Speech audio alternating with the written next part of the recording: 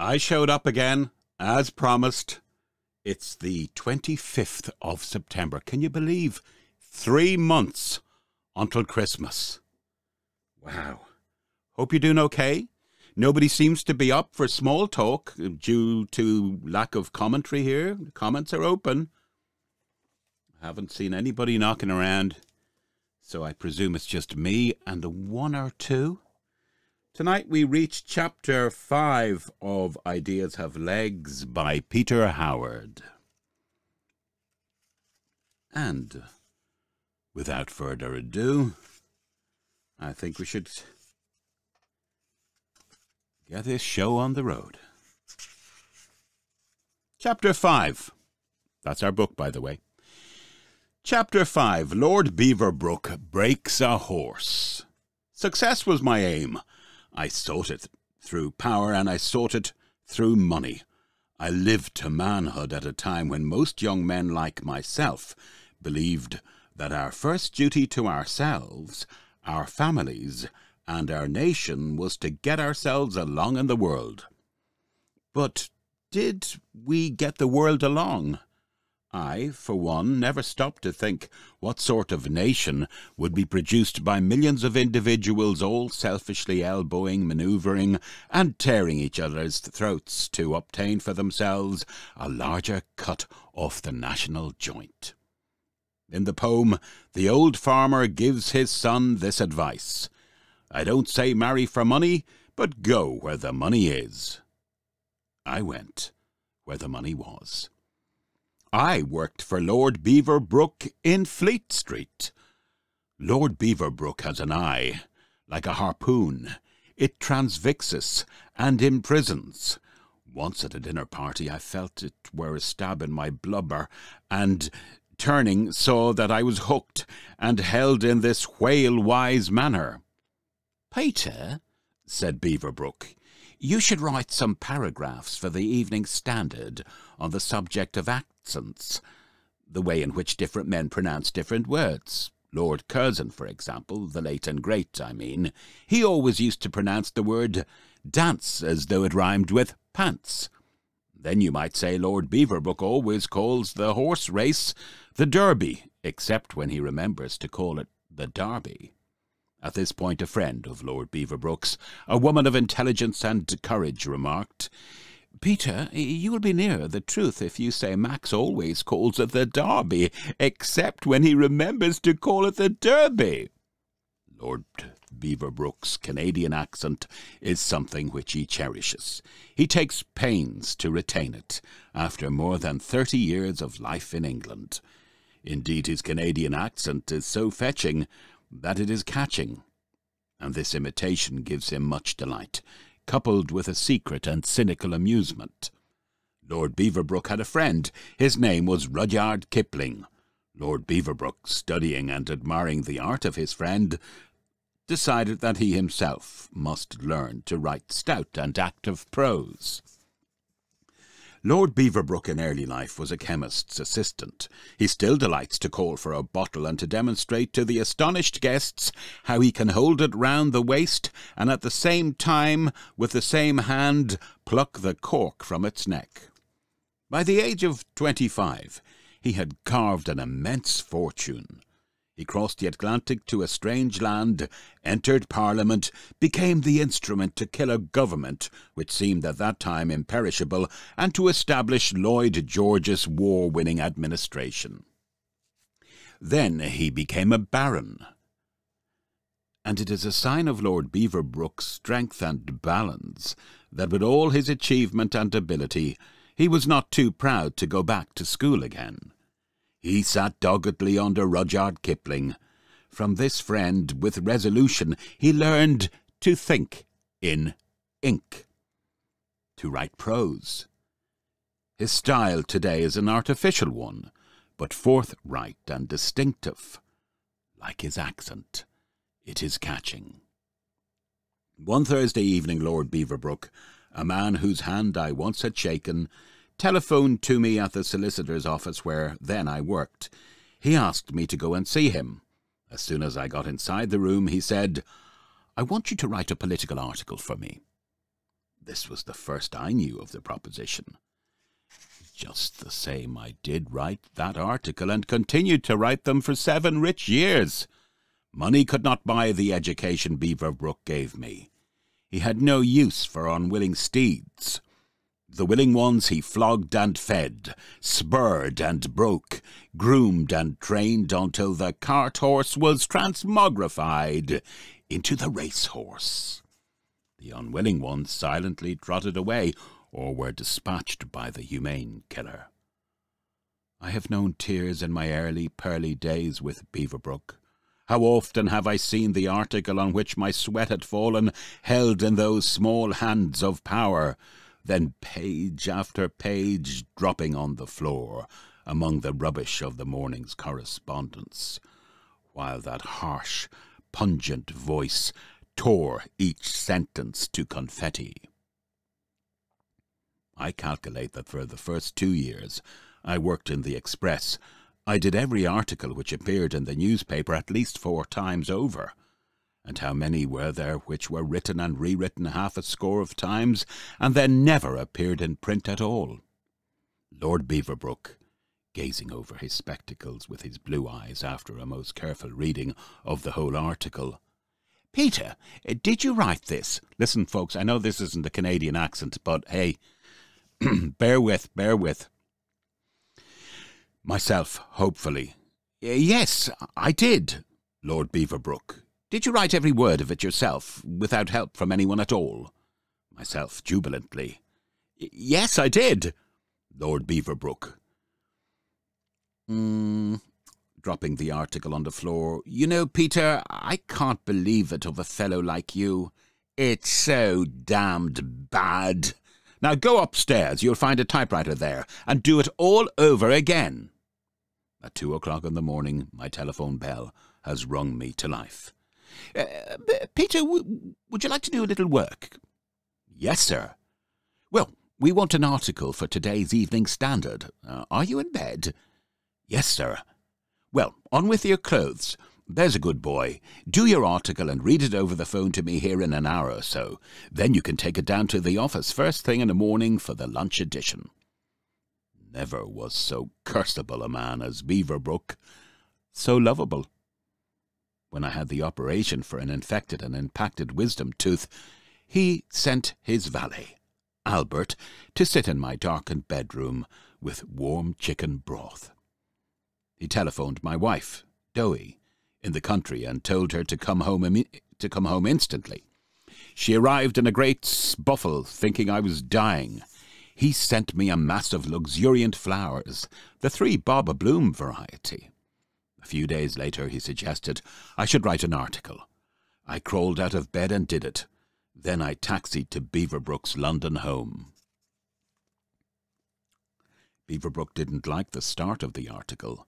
The end of it seemed weak to him and the middle made him boil and bubble.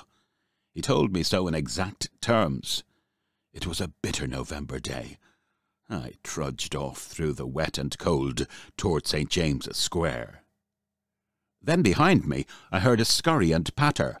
There was Lord Beaverbrook, a small asthmatic figure, coatless and hatless, trotting after me.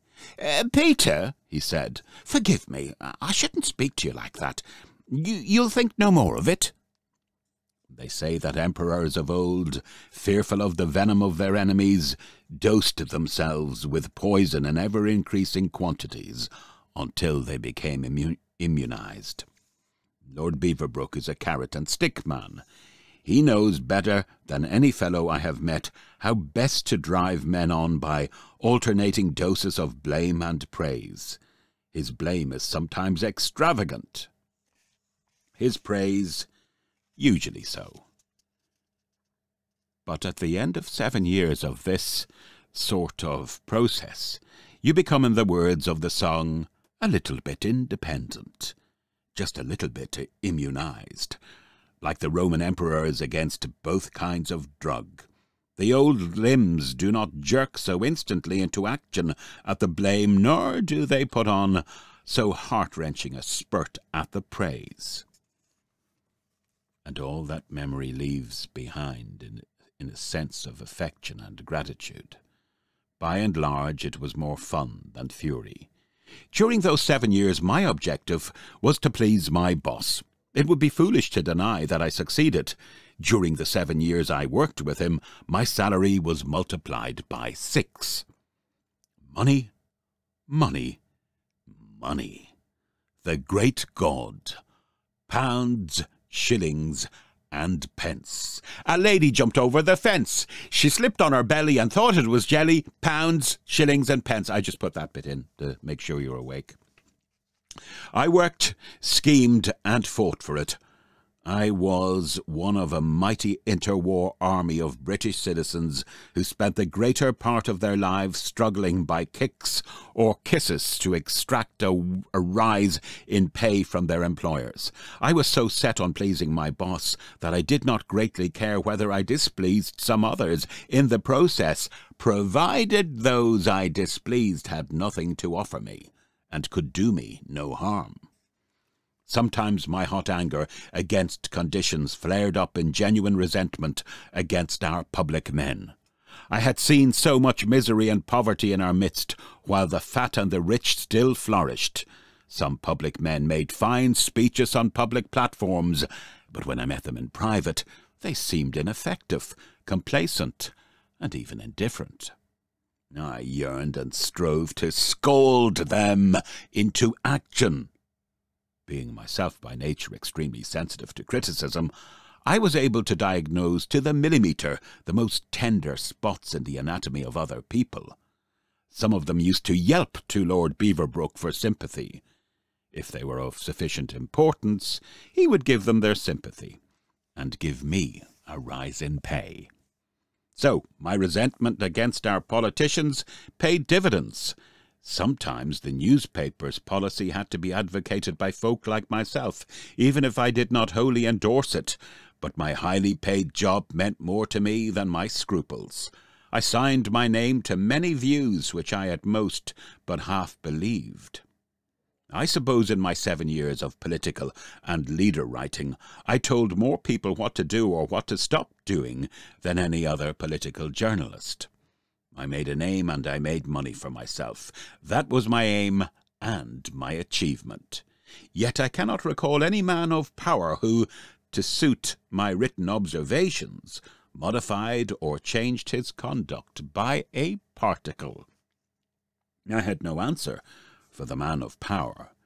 And to be frank, the men of power had no answer for me. They gave no leadership of the quality to match the age. They left me either hot with rage or cold with indifference. Their lives, on the whole, seemed to be based on the same motives of personal ambition as my own, while the cures they propounded for the ills of the nation were based on the belief that more money for somebody would put everything right. That was my belief, and I was the somebody. As I and my generation tried with varying success to carve out a position in life, the shadows were lengthening across Europe. On the continent, young men with clubs and castor oil, with Gestapo and Ogpu, with purges and liquidations were smashing aside every human barrier which stood between them and the fulfillment of their big ideas. I, and millions like me in Britain, had our own ideas. Many of them were, on the whole, well meaning and well intended. But above all, we wanted to be left alone, to be allowed to get on with our job of getting on. For a long time we hoped we could answer tanks by talk, disruption by disapproval, and passion by penmanship. Some of the things I and my generation believed in were the good and the right things, but being right is both smug and inadequate in a world where those whose idea it is to establish wrong are on the march. What I and my generation never learned was how to establish right. We did not understand how to make what is right the strongest idea in the world. We never faced or paid the cost of making ideals effective. Some of Some of us thought we could couple the theory of high ideals with the practice of low living. So the idea of democracy, which is the name we in Britain gave to our idea, became debased.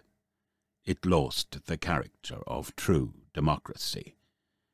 It surrendered the initiative to those forces in the world which worked and lived for the spreading of their anti-democratic ideas among all nations by means of force and revolution. As a nation, we lightly skipped over our own mistakes, while urging other nations by means of pious pronouncements to become different. This method has never influenced me when it has been applied to me, nor did it influence the other nations.